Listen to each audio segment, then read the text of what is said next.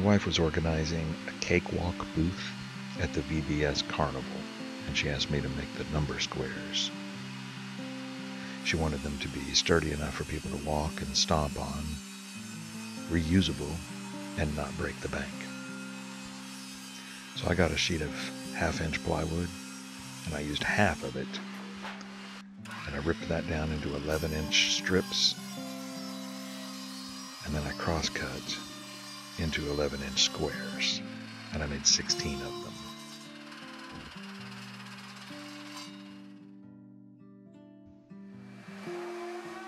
I threw the chamfer bit on the router, and I routed a pretty good sized chamfer on all four edges of the square.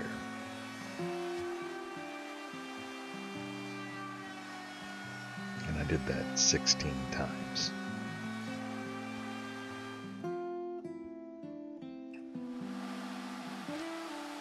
Wasn't looking for fine furniture here, just a rough piece of wood for people to walk on.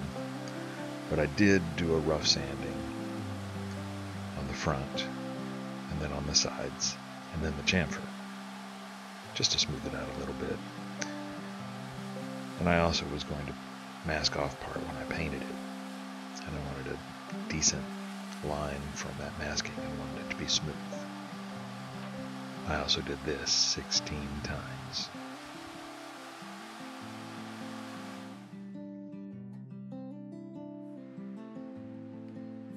My thought here was that the edges would be white and the numbers in the middle would be white.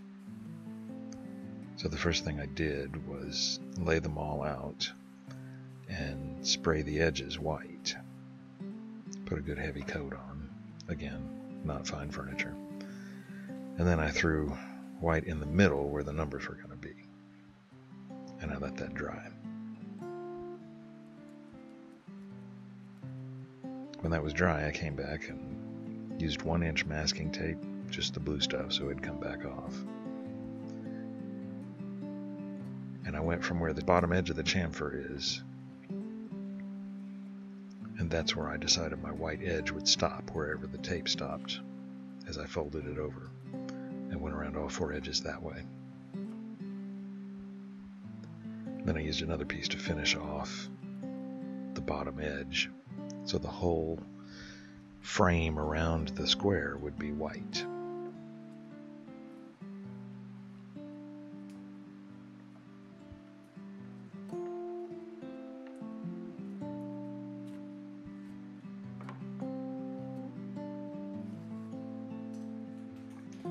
Was going to use vinyl numbers to mask off the numbers.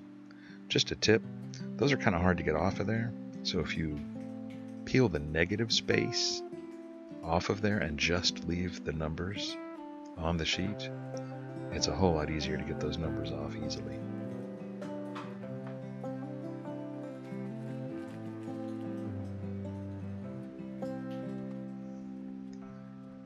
Just to find basic center, measure from the corners and mark an X in the middle, and that makes center. And then you, I just eyeballed the numbers onto there. I employed some help from my three younger kids. We each chose a color.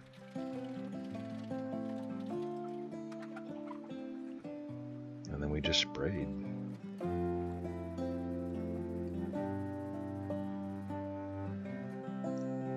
I had a very short amount of time to make these, so one coat was all we had. So we had to put it on heavy enough to cover, but they're not going to end up perfect.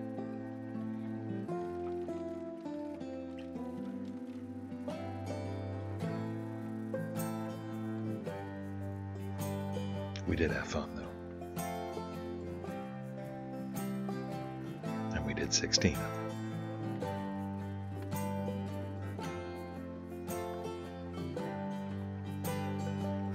Once it was dry enough, I could pull the tape off and pull the vinyl number off.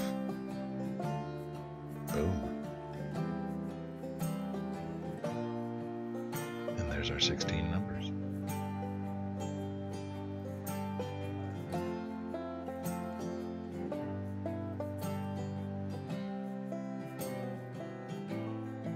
Was kind of tricky that night setting them up because the circle had to be big enough that people would keep moving. Because at first it was very stilted and they didn't move very fast. But they got better at it. And we gave away 40 some odd cakes over two hours. And they did show some wear by the end of the night, but they did all right. Thanks for watching.